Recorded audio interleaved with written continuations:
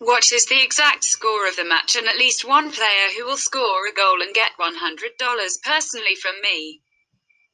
Leave the answers in the comments. Subscribing to the channel and liking the video are also required. We register by reference in the attached comment, enter the promotional code, we get an advance rate on your account. A spot in the FA Cup quarter-finals will be at stake when Derby County and Manchester United face each other at Pride Park Stadium on Thursday evening.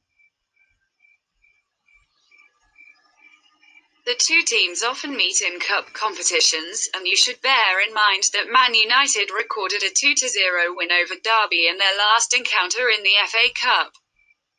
The Red Devils have been struggling in the Premier League this term, and they will be looking to save the season with a triumph in the FA Cup.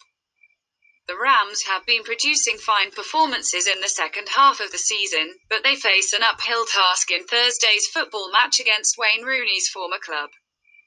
The good news for Ole Gunnar Solskjaer is that Anthony Martial has recovered from his injury. Marcus Rashford, on the other hand, is out for the rest of the season after suffering a back injury. Prediction 0 to 2.